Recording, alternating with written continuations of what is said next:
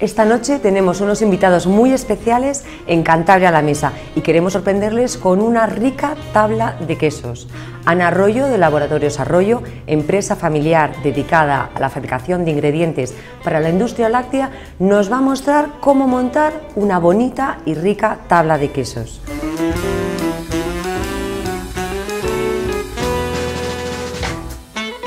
Hola Ana, explícanos qué tabla nos has montado. Pues he traído todos quesos de Cantabria. Entonces hay que empezar por los quesos más suaves, que sería vaca, y después tenemos las tres razas aquí de presentes, vaca, cabra y oveja. Sabemos eh, un poco cuáles son los más fuertes, los sabores o los por, por el tipo de color. Este que ves tan amarillito sería vaca empezaríamos por ese. Cambiaríamos siempre con un arándano o con una uva, en especial cuando es queso azul. La siguiente que recomendaría sería este, que es oveja, una coagulación láctica. También podríamos cambiar con mieles. He traído tres mieles de Cantabria y me he preocupado de que todo lo que estuviera aquí fuera de Cantabria.